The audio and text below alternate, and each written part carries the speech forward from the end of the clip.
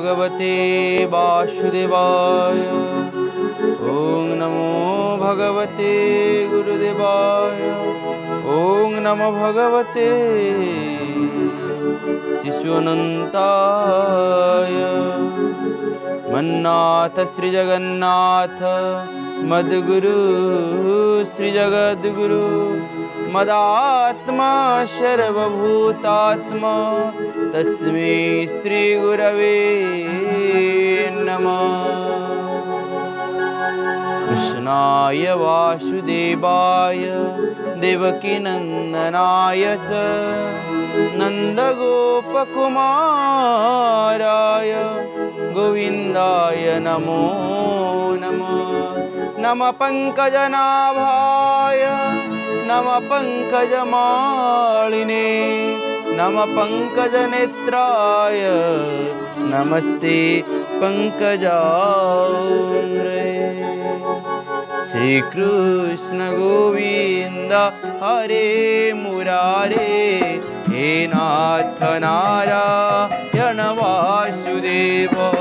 श्रीकृष्ण गोविंद हरे मुरारे हे नाथ नारायण वासुदेव। श्रीकृष्ण गोविंद हरे मुरारे हे नाथ नारायण वासुदेव। গোবিন্দ হরে মুরারে, হে নাথ নারায়ণ বাসুদেব। হরে মুরারে, মধুকৈট ভারে, গোবিন্দ গোপাল মুকুন্দ সুরে। হরে মুরারে, মধুকৈট ভারে গোবিন্দ গোপাল মুকুন্দ সৌরে জগেশ নারায়ণ কৃষ্ণ বিষ্ণু নিরাশ্রয় মঙ্গ জগদীশ রক্ষ জগেশ নারায়ণ কৃষ্ণ বিষ্ণু নিরাশ্রয় মঙ্গ জগদীশ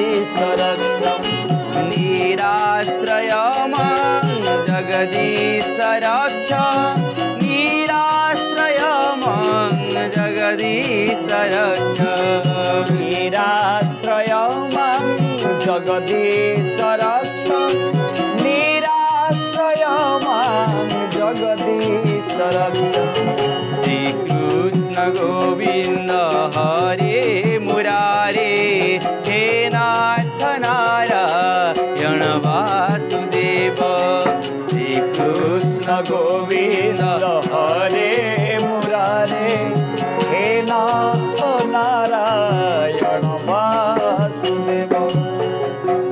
आराध्य, परम प्रेमय चिन्मय चिदघन चिदानंद रूपी प्रातस्मरण मोर गुरुदेव विश्व प्रेमी बलियांकर अभयचरणारविंदे ए सेवक प्रणाम नवेदन करुच्ची मोर इष्टदेव भगवान क्षीराब्दी साई शिशुनंद को जगतर नाथ जगन्नाथ स्वरूप प्रणाम नवेदन करुच्ची अगणित साधु सन्थ एवं मोर प्रिय श्रोता मानू ए सेवक गोपाल दास जन पुत्र भाव में को प्रणाम नवेदन करुच्छी ଆମେ ପ୍ରତିଦିନ ସକାଳ ଛଅଟାରେ ଆମେ ଭାବରେ ଭାଗବତ ଶ୍ରବଣ କରୁଛେ ଏବଂ ଏ ସୁଯୋଗ ଆମକୁ ଅର୍ଗସ୍ ଚ୍ୟାନେଲ ଆମକୁ ସମସ୍ତଙ୍କୁ ଏ ସେବକୁ କହିବାକୁ ଏବଂ ଆପଣଙ୍କୁ ଶୁଣିବାକୁ ଏକ ସୁଯୋଗ ଦେଇଛି। କଥା ଭିତରେ ଅନେକ କଥା ଥାଏ। ଆମେ ଭାଗବତ ପଢ଼ୁ ଆମେ ଗୀତା ପଢ଼ୁ ଆମେ ରାମାୟଣ ପଢ଼ୁ ଆମେ ବେଦ ବେଦାନ୍ତ ଠାରୁ ଅନେକ କିଛି ପଢ଼ିଯାଉ। କିନ୍ତୁ ଆମେ ପଢ଼ିପାରୁ ଆମେ ଜ୍ଞାନ ଆହରଣ କରିପାରୁ ଏବଂ ଜ୍ଞାନକୁ କହିପାରୁ କିନ୍ତୁ ଅନୁଭବ ଏବଂ ଅନୁଭୂତି ତାହା ସମସ୍ତଙ୍କ ପାଖରେ ନଥାଏ ତାଙ୍କ ପାଖରେ ଅନୁଭବ ଥାଏ ଏବଂ ଅନୁଭୂତି ଥାଏ ଯିଏ ଭାବର ସହିତ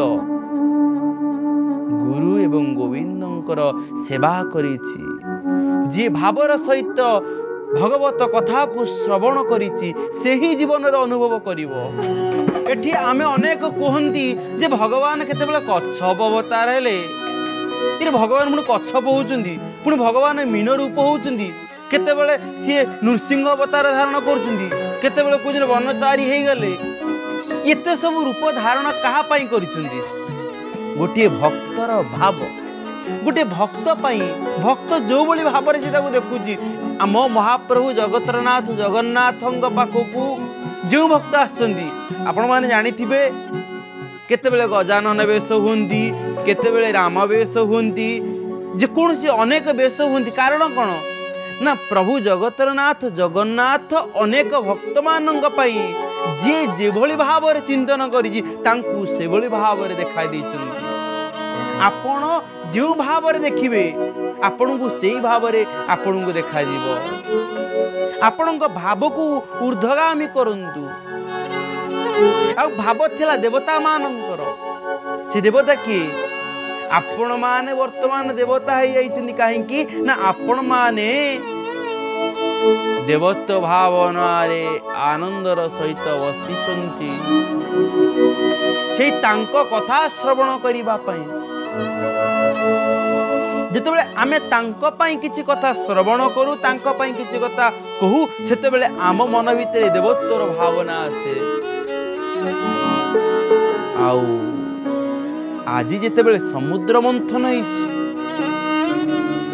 সমুদ্র মন্থনরে যেতবে মা লক্ষ্মী বাহারে সমুদ্রর সেতবে আমি গতকালি সে তত্ত্বর কথা শ্রবণ করে যে তাঁকু স্বয়ং নারায়ণ নেলে ମାନେ ନାରାୟଣଙ୍କ ସହିତ ମା ନାରାୟଣଙ୍କ ପାଦ ସେବା କରିବା ପାଇଁ ନାରାୟଣ ଯତ୍ନ ନେବା ପାଇଁ ଲକ୍ଷ୍ମୀ ରହିଲେ।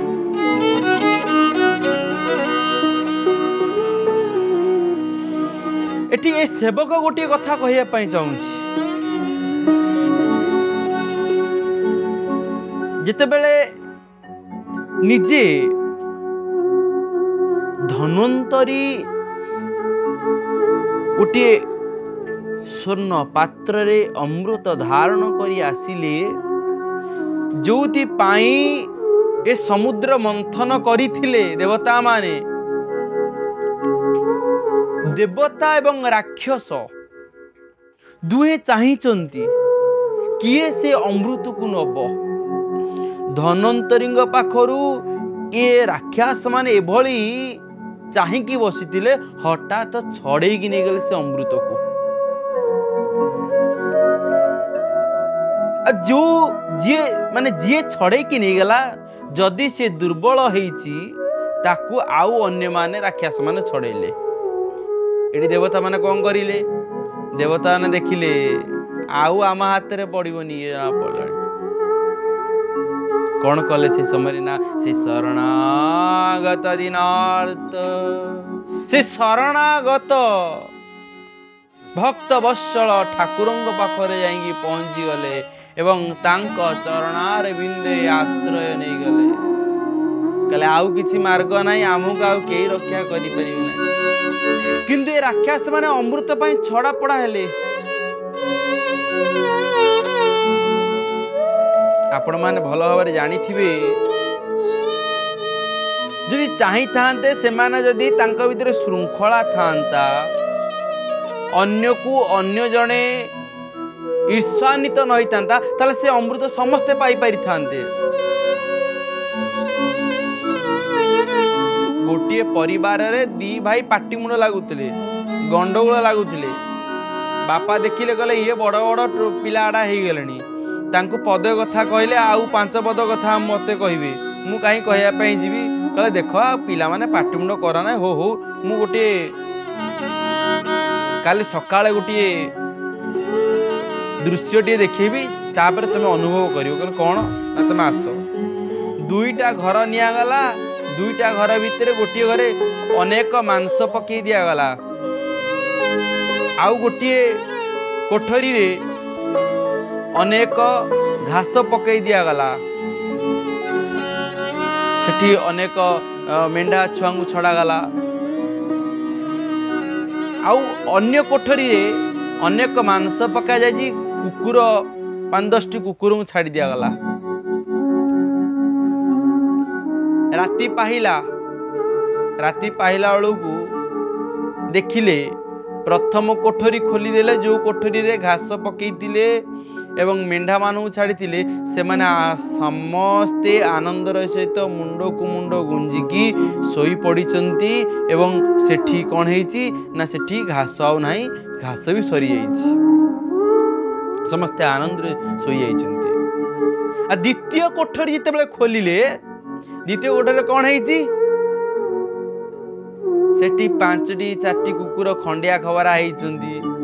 ମାଂସ ଜାଗାର ମାଂସ ଛାଏଁ ପଡ଼ିଛି। କିନ୍ତୁ ତାଙ୍କ ଭିତରେ ଖଣ୍ଡିଆ ଖବରା ହେଇକି ପାଞ୍ଚ ଜଣ ପଡ଼ିଛନ୍ତି। ମାଂସକୁ ଯେମିତି ଥୁଆ ହେଇଥିଲା ଥୁଆ ହେଇଛି ଜୀବନରେ ଯଦି ଶୃଙ୍ଖଳା ନାହିଁ ଆମେ ଏଠି ଶିଖିଲେ ଯଦି ଜୀବନ ଭିତରେ ଆମର ଶୃଙ୍ଖଳା ନାହିଁ ତେବେ ଆମ ହାତରେ ଯେତେ ବଡ଼ ଜିନିଷଟେ ପହଞ୍ଚିଥିଲେ ଯେତେ ବଡ଼ ସାମର୍ଥ୍ୟ ପହଞ୍ଚିଥିଲେ ମଧ୍ୟ ତାର ଆମେ ସଦୁପଯୋଗ କରିପାରୁନା। ଆମ ଭାଗବତ କହୁଛନ୍ତି ଯେ ରାକ୍ଷାସ ପାଖରେ ଯଦି ଅମୃତ ପହଞ୍ଚିଥିଲା ସେ ଅମୃତକୁ ଯେମିତି ସମସ୍ତେ ଗଣ୍ଡଗୋଳ ହେଇକି ଯେମିତି ସେ ଅମୃତକୁ ପିଇବା ପାଇଁ ସାମର୍ଥ୍ୟ ହେଇପାରିନଥିଲେ ତମ ପାଖରେ ଯେତେ ବଡ଼ ସାମର୍ଥ୍ୟ ଯେତେ ଧନର ଅଧିକାରୀ ତମେ ହେଇଥାଅ ନା କାହିଁକି? ଯଦି ସେ ଧନ ପାଇବାର ଯଦି ଶୃଙ୍ଖଳତା ନାହିଁ ଯଦି ଶାଳୀନତା ନାହିଁ ଯଦି ସଦାଚାର ନାହିଁ ଯଦି ସମର୍ପଣ ଭାବ ନାହିଁ ତେବେ କିଛି ଲାଭ ମିଳିବ ନାହିଁ ସପନ ଯେତେ ଦେଖୁ ବାଇଆ ସକାଳେ ଯାଏ ନିଭି জীবন স্বপ্ন বৈতরণী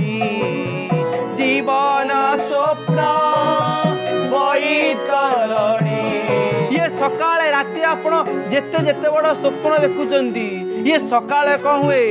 ଆପଣ ଭାବିଥିବେ ରାତିରେ ସ୍ୱପ୍ନ ଦେଖିଥିବେ ହେଲିକପ୍ଟର ଯାଉଛନ୍ତି ରାତିରେ ଦେଖୁଥିବେ ଆପଣ କୋଟିପତି ହେଇଛନ୍ତି କିନ୍ତୁ ସକାଳେ ତାହା ହିଁ ନଥିବ। ଇଏ ଜୀବନ ହେଉଛି ସେଇଭଳି। ଆପଣ କେତେ କେତେ ବଡ଼ ଯଦି ଆପଣ ଏ ସେବକ ଆପଣ ସକାଳୁ ସକାଳୁ ବସିଛନ୍ତି ଏ ସେବକ ଆପଣଙ୍କୁ ଯେଉଁ କଥା କହୁଛି ମୋ ଓଡ଼ିଶାରେ ଭାଗବତ କଥା କିଏ ବା ନ ଜାଣିଛି? ତଥାପି ଆପଣମାନେ ଏତେ ଶ୍ରବଣ କରୁଛନ୍ତି ପୁଣି ଏତେ ଭଲ ପାଇବା ଦେଉଛନ୍ତି କାହିଁକି? ଆଗେ ଦେଶ ଶୃଙ୍ଖଳା ରହିବା ଦରକାର। ମୋ ଶାସ୍ତ୍ରରେ ଲେଖା ହେଇଛି କେବଳ ଶୃଙ୍ଖଳା ପାଇଁ। ଜୀବନର ଶୃଙ୍ଖଳା ହେବ। ଜୀବନ ଶୃଙ୍ଖଳା ହେଲେ ପରିବାର ଶୃଙ୍ଖଳା ହେବ। ପରିବାର ଶୃଙ୍ଖଳା ହେଲେ ସମାଜ ଶୃଙ୍ଖଳା ହେବ। ସମାଜ ଶୃଙ୍ଖଳା ହେଲେ ଦେଶ ଶୃଙ୍ଖଳା ହେବ। ଆଉ ଦେଶ ଶୃଙ୍ଖଳା ହେଲେ ଆମ ସମସ୍ତ ଗତି ଶୃଙ୍ଖଳା ହେଇଯିବ। କିନ୍ତୁ ଆଜିର ସମାଜରେ ଆପଣମାନେ ଲକ୍ଷ୍ୟ କରିପାରୁଥିବେ ତା ଘରେ ନିଆଁ ଲାଗିଲା ମୋର କ'ଣ ଯାଉଛି? ତା ଘରେ ନିଆଁ ଲାଗିଲା ମୋର କ'ଣ ଯାଉଛି? କିନ୍ତୁ ଆମେ ଏ କଥା ଭୁଲି ଯାଇଛେ ତା ଘରର ନିଆଁର ସେଇ ଝୁଲ ଆସିକି ମୋ ଘରେ ପଡ଼ିବ ମୋ ଘରେ ମଧ୍ୟ ନିଆଁ ଲାଗିଯିବ।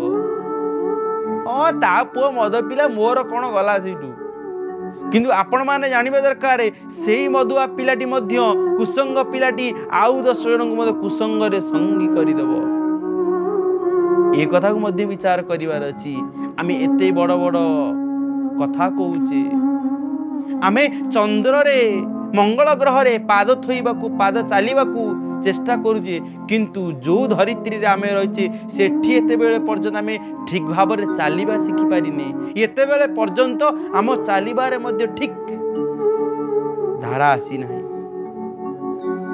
ଯଦି ଏଇ ଭାରତ ବର୍ଷରେ ଏବେ ବି ଯଦି ଯଦି ଦେଖୁଛନ୍ତି ମାତୃ ଗର୍ଭରେ ଯଦି ଝିଅ ଅଛି ତାଙ୍କୁ ମାରି ଦିଆଯାଉଛି ଆପଣ କ'ଣ ଭାବୁଛନ୍ତି ଏହା କ'ଣ ଧର୍ମ?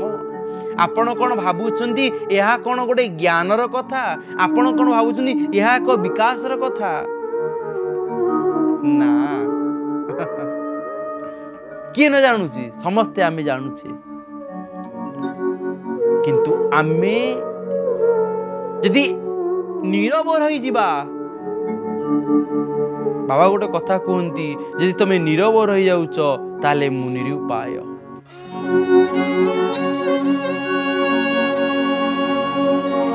ସେଦିନ ଭଗବାନ କୃଷ୍ଣଙ୍କ ପାଖରେ ଅର୍ଜୁନ ଭୀମ ନକୁଳ ସହଦେବ ଏବଂ ଯୁଧିଷ୍ଠିର ଯାଇକି ପହଞ୍ଚି ଯାଇଥିଲେ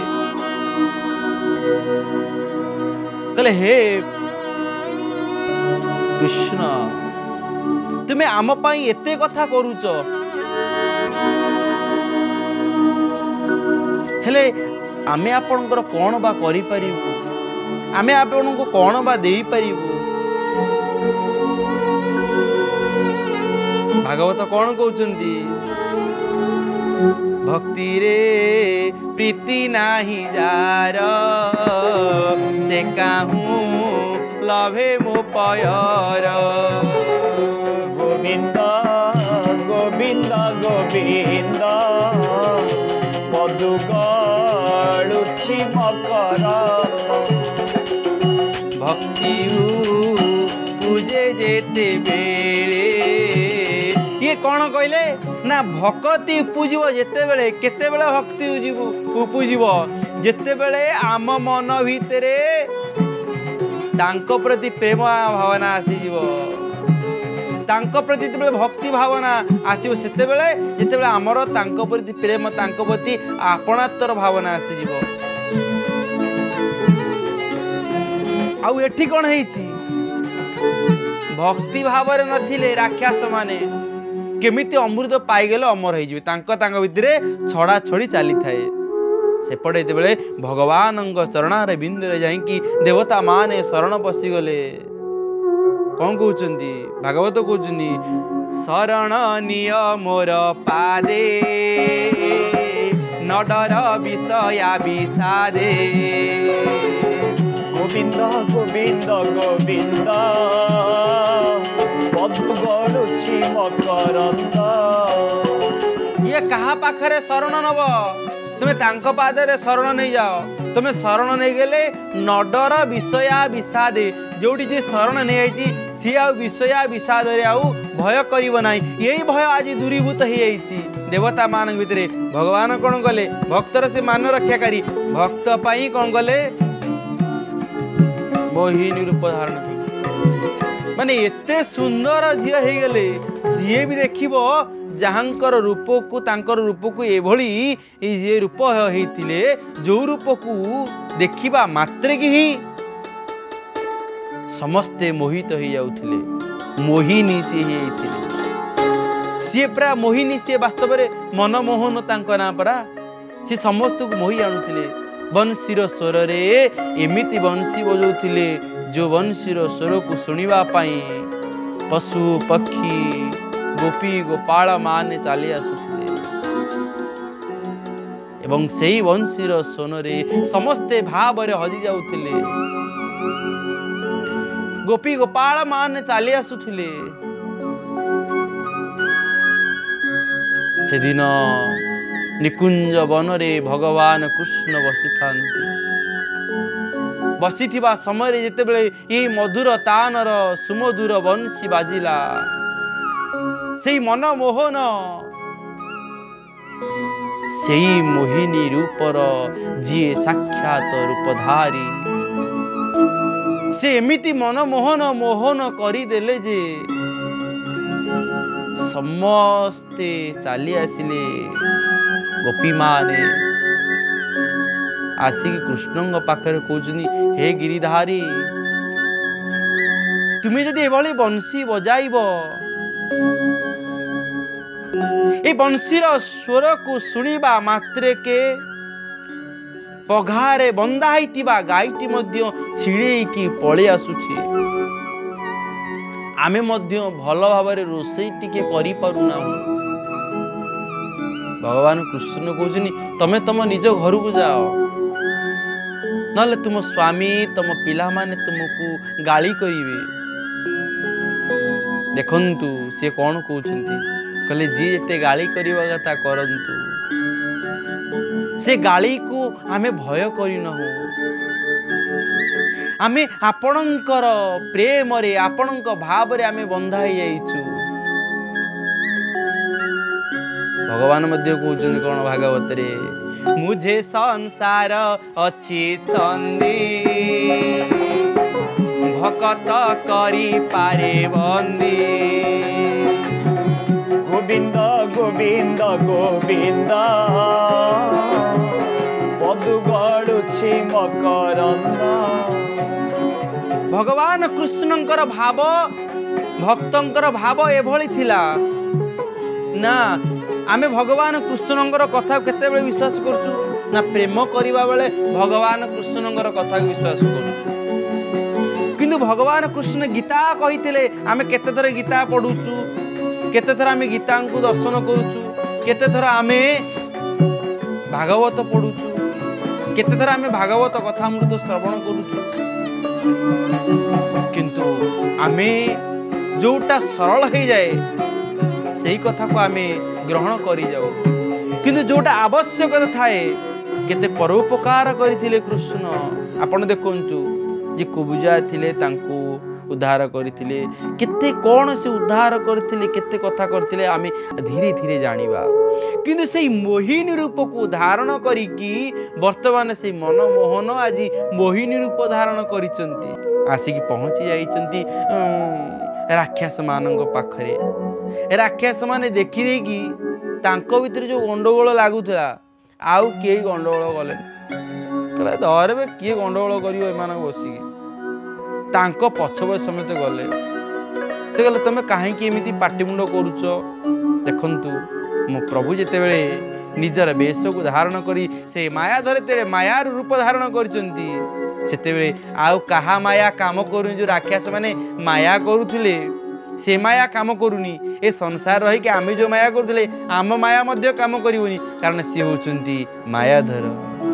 ହେ ମାୟାଧର କେ ବୁଝି ପାରିବ ମାୟା ତୁମର? ହେ ହେ ମାୟାଧର କେ ବୁଝି ପାରିବ ମାୟା ତୁମର? ଏ ମାୟାଧରଙ୍କର ମାୟାର ରୂପକୁ ଆଜି କେହି ବୁଝି ପାରୁନାହାନ୍ତି ରାକ୍ଷସ ମାନେ ସମସ୍ତେ କଣ କଲେ କଲେ ତୁମେ କିଏ? ତୁମେ କୋଉଠୁ ଆସିଛ? ତମ ଭଳି ତ ଆଉ ଏ ସଂସାରରେ ସୁନ୍ଦରୀ ଆଉ କେହି ନଥିବେ। ତମକୁ ଦେଖିବା ମାତ୍ରକେ ଆମେ ଅନୁଭବ କରୁଛୁ ଯେ ନିଶ୍ଚିତ ଭାବରେ ତମକୁ ମାନେ ଦେବତା ଯକ୍ଷ ଗନ୍ଧର୍ବ କେହି ଦେଖିନଥିବେ। କେବଳ ତୁମେ ଆମ ପାଖକୁ କେବଳ ଆସିଛ। ତାଙ୍କ ମନ ଭିତରେ ଯୋଉ ଫୋକସ୍। ତାଙ୍କ ମନ ଭିତରେ ଏକାଗ୍ରତା ଥିଲା ଅମୃତ ପ୍ରତି ସେ ଏକାଗ୍ରତା ଭଗ୍ନ ହେଇଗଲା। ଯଦି ଆପଣ ବାସ୍ତବରେ ପ୍ରେମ କରିବାକୁ ଚାହୁଁଛନ୍ତି ତାହେଲେ ଆପଣ ଝିଅକୁ ପ୍ରେମ କରନ୍ତୁ ବୈବାହିକ ଜୀବନ ଆଣନ୍ତୁ କିନ୍ତୁ ସମାଜ ପାଇଁ ଆପଣଙ୍କ ଜୀବନର କ'ଣ ମହାନ ଲକ୍ଷ୍ୟ ରହିଛି ତାକୁ ମଧ୍ୟ ବିଚାର କରନ୍ତୁ। ଆମ ଯୁବପିଢ଼ି ମାନଙ୍କ ପାଇଁ ଇଏ ଗୋଟେ ନିହାତି ଭାବରେ ଜାଣିବା ଦରକାର ଏଠୁ ଯେ ଅମୃତ ଧରିଥିଲେ ପିଇଥିଲେ ସିଏ ଅମର ହେଇଥାନ୍ତେ। କିନ୍ତୁ ସେ ଅମୃତର ପାତ୍ର କଥାକୁ ଭୁଲିଗଲେ କେତେବେଳେ? ଯେତେବେଳେ ମୋହିନୀଙ୍କୁ ଦେଖିଦେଲେ। ସେ ମୋହିନୀଙ୍କୁ ଦେଖିଦେବା ପରେ ଏମାନଙ୍କର ଯୋଉ ଲକ୍ଷ୍ୟ ଥିଲା ଏମାନଙ୍କର ଯୋଉ ଜିଦ୍ ଥିଲା ସେ ଅମୃତ ପିଇବା ପାଇଁ ସେ ଜିଦ୍ ସେଠି ନ ରହିକି ସେ ଜିଦ୍ କୋଉଠି ଆସିଗଲା? ସେ ମୋହିନୀଙ୍କ ପ୍ରତି। ଆଜିର ସମାଜରେ ଦେଖନ୍ତୁ ବାପା ଯୋଉ ବାପା ବଡ କରିଥିବ ସେ ବାପା ହେଇଗଲା ଶତ୍ରୁ ସେ ମା ହେଇଗଲା ଶତ୍ରୁ ସମସ୍ତେ ଶତ୍ରୁ ହେଇଗଲେ ମୁଁ ସେଇଠି ମୁଁ ସେଇ ଝିଅକୁ ବାହା ହେବି ମାନେ ହେବି ମୁଁ ସେଇ ପୁଅକୁ ବାହା ହେବି ମାନେ ହେବି। ତ ଏଇ ଯୋଉ କଥା ଭିତରେ ରହିଗଲେ ନା ମୁଁ ମନା କରୁନି ବାହା ହେବା ପାଇଁ ମୁଁ ମନା କରୁନି ଭଲ ପାଇବା ପାଇଁ ମୁଁ ସେ କଥାକୁ ମଧ୍ୟ ତୁମର ଗ୍ରହଣ କରୁଛି। କିନ୍ତୁ ତମେ କ'ଣ କରିଦେଲ? ନା ଗୋଟେ ପଟେ ପଚିଶ ବର୍ଷର ସମ୍ପର୍କକୁ ଭାଙ୍ଗିଦେଲ ଅନ୍ୟର ତ୍ୟାଗକୁ ଭୁଲିଗଲ ନିଜ ଜୀବନର ମହାନ ଲକ୍ଷ୍ୟକୁ ତମେ ଭୁଲିଗଲ ଇଏ ଲକ୍ଷ୍ୟକୁ ଭୁଲିଯିବ ମହାନ ପଥକୁ ଭୁଲିଯିବ ଆଉ ତୁମେ ତାହେଲେ ସଂସାରକୁ ଆସିଥିଲ କାହିଁକି? ତୁମେ କ'ଣ ଏ ସଂସାରକୁ ଆସିଥିଲ? ଏକ ମହାନ ଲକ୍ଷ୍ୟକୁ ଭୁଲିଯିବା ପାଇଁ? জীবনরে যদি আসিছি সুযোগ, হরাও না বাবু, সেই সৌভাগ্য। জীবনরে যদি আসিছি সুযোগ, হরাও না বাবু, সেই সৌভাগ্য। সুযোগ ছাড়িলে ଆସଇ ଦୁର୍ଯୋଗ ସୁଯୋଗ ଛାଡ଼ିଲେ ଆସଇ ଦୁର୍ଯୋଗ সুযোগ সৌভাগ্য ହୋଇଯାଏ ଭାଗ ସୁଯୋଗ ସୌଭାଗ୍ୟ ହୋଇଯାଏ ଭାଗ ଜୀବନରେ ସୁଯୋଗ ଆସି ସେ ସୁଯୋଗକୁ ଆପଣ ଛାଡ଼ି ଦେଉଛନ୍ତି ମାନେ ସିଏ କ'ଣ ହବ ନା ସବୁ ଭାଗ ଭାଗ ହେଇଯିବ ତେଣୁ ଆପଣଙ୍କ ଜୀବନରେ ପ୍ରତିଟି ଯୁବପିଢ଼ି ମାନେ ଆପଣମାନଙ୍କ ଜୀବନରେ ଯେଉଁ ଫୋକସ୍ ରହିଛି ସେ ମହାନ ଲକ୍ଷ୍ୟକୁ ଆପଣ କେବେ ହେଲେ ଛାଡ଼ନ୍ତୁ ନାହିଁ। ଲୋଭର ବଶବର୍ତ୍ତୀ ସେ ମହାନ ଲକ୍ଷ୍ୟକୁ ଛାଡ଼ିଦେଲେ ଆପଣଙ୍କ ଜୀବନ ବ୍ୟର୍ଥ ହେଇଯିବ। ତେଣୁ ପ୍ରିୟ ସଜ୍ଜନ ସେ ବାସ୍ତବରେ ସେ ଅମୃତ କ'ଣ ହେଲା? ଏବଂ ସେ ଅମୃତକୁ ଧରିଥିବା ରାକ୍ଷସ ମାନେ ମୋହିନୀଙ୍କ ପଛ ପଛ ପଛେ ଧାଇଁଲେ ଏବଂ ସେ ମୋହିନୀ କ'ଣ କହିଲେ? ଆମେ ଆସନ୍ତାକାଲି ସକାଳେ ଶ୍ରବଣ କରିବା। ଆଉ ସେତେବେଳେ ପର୍ଯ୍ୟନ୍ତ ମୁଁ ପ୍ରଭୁଙ୍କର ନାମ ଟିକେ ନେବା ଏବଂ ଆନନ୍ଦରେ ଗାଇ ଉଠିବା। ଶ୍ରୀକୃଷ୍ଣ ନନ୍ଦଲାଲା ବାଲ ଗୋପାଲା ଶ୍ରୀକୃଷ୍ଣ ନନ୍ଦଲାଲା